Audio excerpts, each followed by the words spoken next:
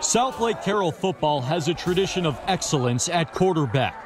Quinn Ewers has the potential to be the best they've ever had.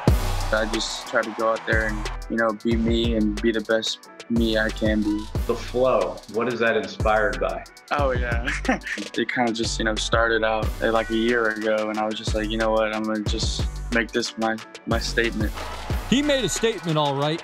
In his first year as Dragons quarterback, Quinn threw for 4,000 yards and 45 touchdowns as a sophomore.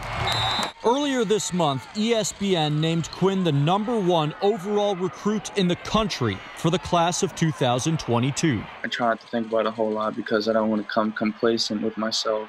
That makes me want to work harder just to prove everybody right. Already six foot three, 200 pounds, Quinn still has two more years of high school, but already has offers from nearly 30 colleges, including LSU, Alabama, Ohio State, Oklahoma, and Texas.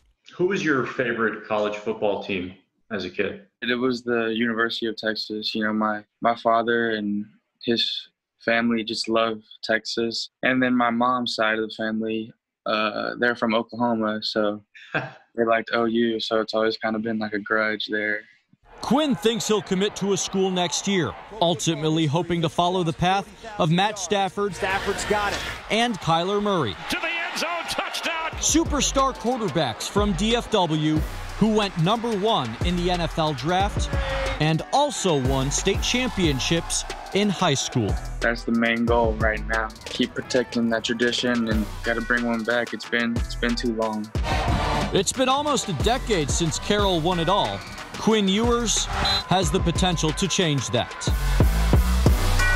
In Dallas, I'm Jonah Javad.